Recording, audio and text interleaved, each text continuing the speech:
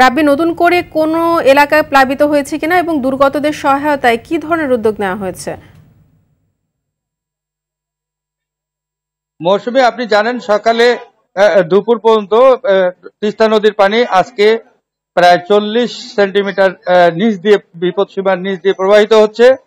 এ পর্যন্ত দুর্গত এলাকায় জেলা জেলা প্রশাসকের দপ্তর থেকে ডিমলা উপজেলার ছয়টি ইউনিয়নে চল্লিশ মেট্রিক টন চাল এবং দশ লক্ষ টাকা পাঁচশো প্যাকেট শুকনো খাবার এবং জলঢাকা উপজেলার শোলমারি ইউনিয়নে পনেরো মেট্রিক টন চাল এবং পাঁচ লক্ষ টাকা দেয়া হয়েছে।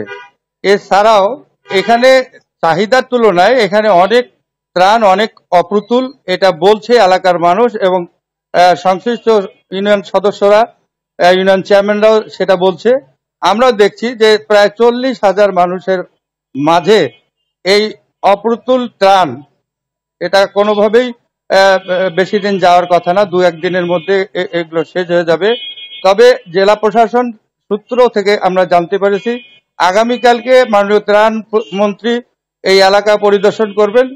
আশা করছেন এখা- এখানকার মানুষ যে তাদের ত্রাণের পরিমাণ বাড়বে, এদের অবর্ণনীয় দুর্ভোগ হচ্ছে এখানে। তারা আগুন জ্বালাতে পারছে না, তারা রান্না করে কিছু খেতে পাচ্ছে না।